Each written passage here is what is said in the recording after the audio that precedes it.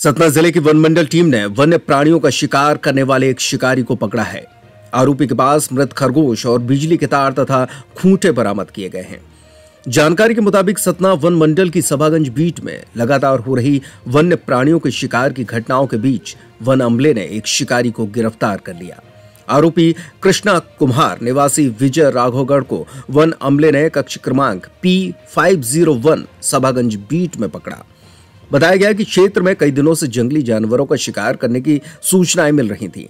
One अमला खुद भी शिकारियों की तलाश में लगा था और इस कोशिश में कई मुखबिर भी लगाए गए थे।